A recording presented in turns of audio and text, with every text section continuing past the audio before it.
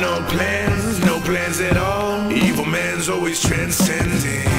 Fighter like sheep, swallow everything. Always simpletons or pretending. We got no plans. This is your moment of clarity from LeeCamp.net.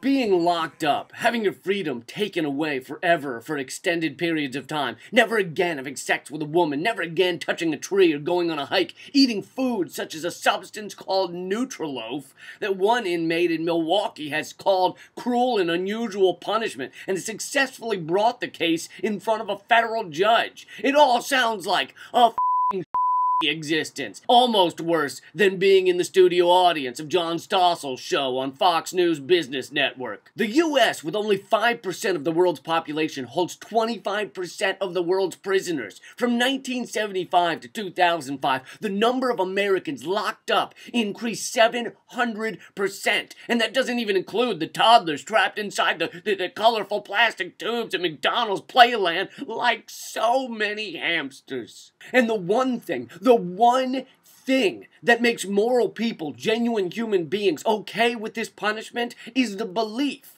that those going through it are horrible criminals, murderers and pillagers, killers and molesters, rapey types and bestialites, people that are not fit for society. That's the concept that makes most people okay with proceeding with this torture. So it would only make sense that no one is getting paid to make sure as many people as possible are placed in this despicable, miserable, insufferable hell. But if you privatize our prisons, put corporations in charge of our penitentiaries, that's exactly how it is. And that's exactly what we're doing. More people are in privatized prisons than ever before. The more people in jail, the more money these get. But obviously, these companies can't just grab people off the street and lock them up. That wouldn't have the, the necessary facade of justice. That wouldn't appear polite. Just like Goldman Sachs employees can't literally on people's faces. They have to do it by way of business practices. So what do these private prison companies do in order to lock people up? They do what all corporations do. I'll spell it for you.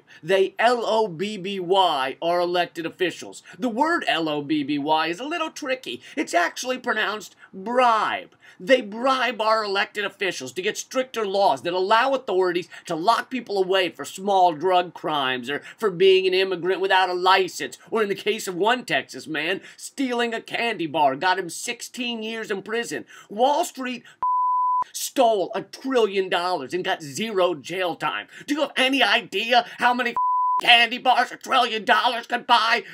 Like, like, like a trillion. Our freedom is a commodity now. It's bought and sold and traded like so many hamsters. And yet people seem to get more upset if jobs are bought and sold. Sit there and think to yourself. Think hard and long. If you could only pick one, which should be illegal in this land of the free? 10 minutes of job or 50 years of Nutriloaf?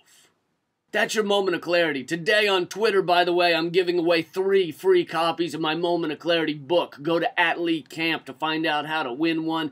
And the Moment of Clarity podcast today has an interview with the creator of the new movie Bailout. You can listen at leecamp.net, iTunes, or Stitcher. Thanks. Keep fighting. Plans, no plans at all. Evil man's always transcending. Fighter like sheep, swallow everything. Always or pretend.